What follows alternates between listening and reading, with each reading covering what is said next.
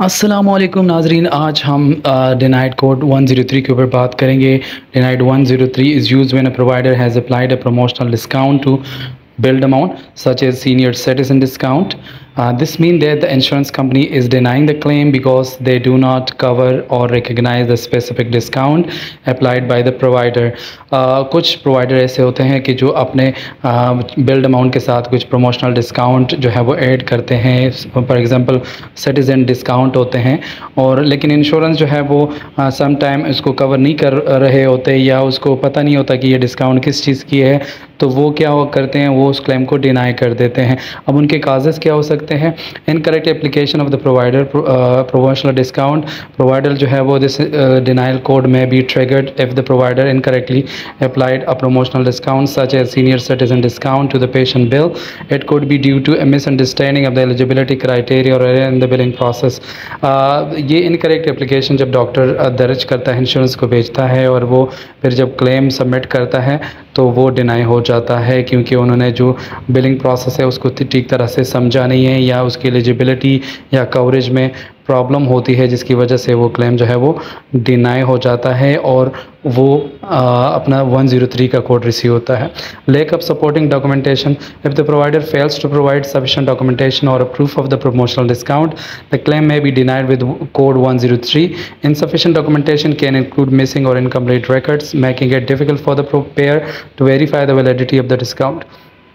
जब insurance claim को deny करता है तो उसके लिए सपोर्टिंग डॉक्यूमेंट डॉक्टर को भेजने होते हैं। अगर डॉक्टर जो है वो फेल होता है उन तमाम डॉक्यूमेंटेशन को प्रोवाइड करने में या कोई क्लियर डॉक्यूमेंटेशन प्रोवाइड नहीं करते तो इंश्योरेंस के लिए काफ़ी ज़्यादा डिफ़िकल्टीज़ होती है कि जो डिस्काउंट है वो वैलिड भी है या वैलिड नहीं है तो वो डॉक्यूमेंटेशन जो है वो काजेज़ बनती है किस चीज़ की? इस डिनाई की।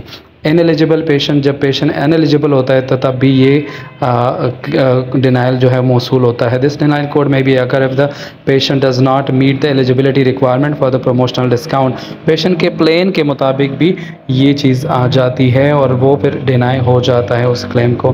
For example if the discount is only applicable to senior citizen but the patient does not meet the age criteria the claim में भी डिनाइड अगर लेट सपोज़ एक पेशेंट है, वो उसके क्राइटेरिया पे नहीं उतरता, उसकी एज जो है वो कम है, वो सीनियर है ही नहीं सीनियर सिटीज़न के जो एज ग्रुप में उसमें ऐड ही नहीं होता तो क्लेम डेफिनेटली डिनाई हो जाएगा।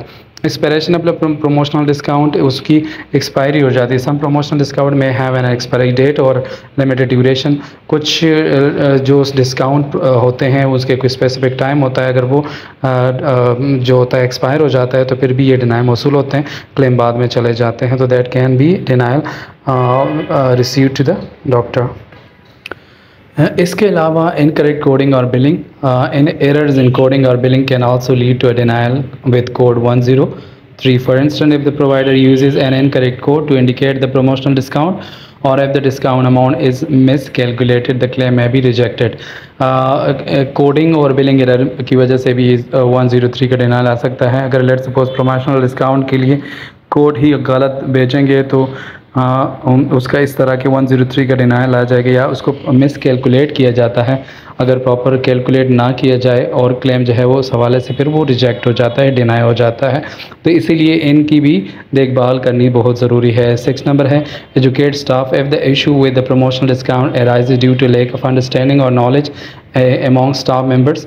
Consider pro providing additional education or training. Ensure that all uh, relevant staff members are aware of the proper procedure for applying promotional discount.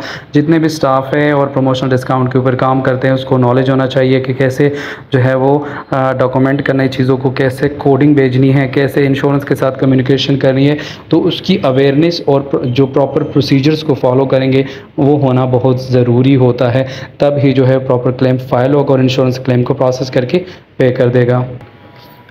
Six number है monitor and track after addressing the code monitor and track future instances of the promotional discount to ensure that is consistently applied correctly regularly review and audit patient accounts to identify any potential issue और errors proper track रखना चाहिए proper monitor करना चाहिए claims को और उस पर proper तरीके से जो है वो ऑडिट रखनी चाहिए ताकि कंसिस्टेंसी हो और हर चीज़ जो है प्रॉपर क्लेम्स प्रॉपर तरीके से फ़ाइल हो with proper documentation and approvals और प्रॉपर जो कोडिंग रिक्वायर्ड होती है डिस्काउंट के लिए वो प्रॉपर तरीके से अपेंड हो तो उस केस में जो है वो क्लेम डिनाई नहीं होगा, बल्कि प्रॉपर क्लेम पे हो जाएगा। By following the steps health care providers can effectively address code 103 and ensure accurate application of the provider promotional discount such as senior citizen discount ये स्टेप्स फॉलो करने से provider को जो है इफेक्टिवली ये कोड को एड्रेस करेगा accurate application file होगा और एन एज रिज़ल्ट जो है वो प्रमोशनल डिस्काउंट जो है वो